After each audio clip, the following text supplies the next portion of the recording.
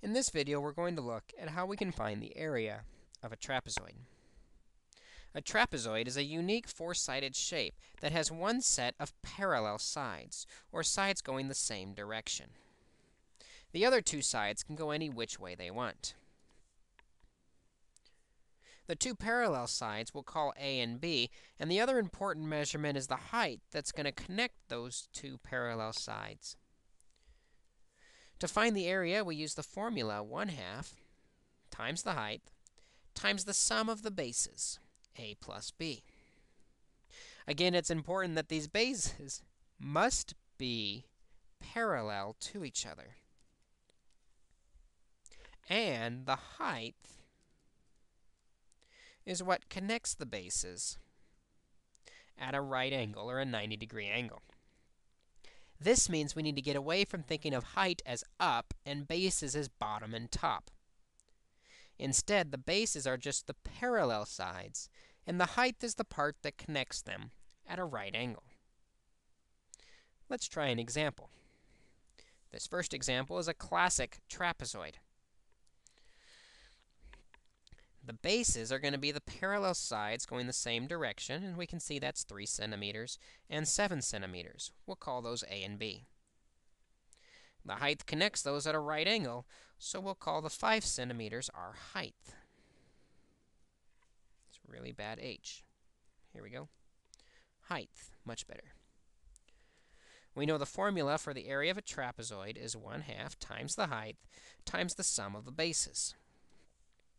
So we'll plug these into our formula. 1 half times the height, which we said was 5 centimeters, times the sum of the bases. A was 3 and B was 7 centimeters. 3 centimeters plus 7 centimeters.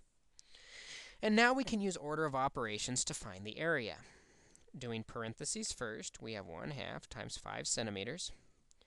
Adding, combining like terms, 3 plus 7 is 10 centimeters and then finally multiplying from left to right.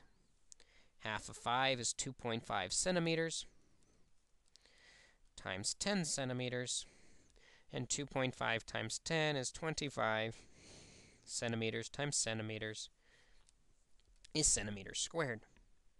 The area of this trapezoid is 25 centimeters squared. Let's try another example where we find the area of a trapezoid. This trapezoid is less traditional, but the process is still the same. We know that the area of a trapezoid is 1 half times the height times the sum of the two bases. But we must be careful that the bases are the two parallel sides going the same direction. In this case, the bases are on the left and right side, 9 and 6 going the same direction. And the height is actually the part that connects the two bases at a right angle. The height on this shape is 4 inches. Plugging this into our formula, we have 1 half times the height, or the 4 inches, times a plus b, or 9 plus 9 inches, or 9 plus 6 inches. And this gives us our order of operations we can use to find the area.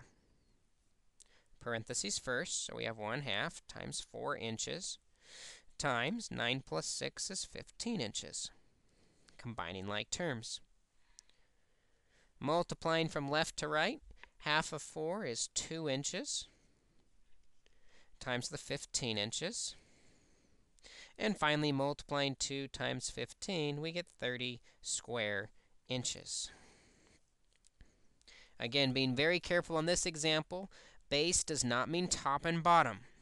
Base means the two parallel sides going the same direction. That's the 9 and the 6. Height does not mean up. Height is the measurement that's connecting the two bases at a right angle. In this case, it's the left and right side at the bottom. I'm sorry, the horizontal one at the bottom is probably a better way to say it. That's 4 inches. Plugging those into our formula, 1 half height times a plus b the sum of the bases, using order of operations, we can find the area of our trapezoid.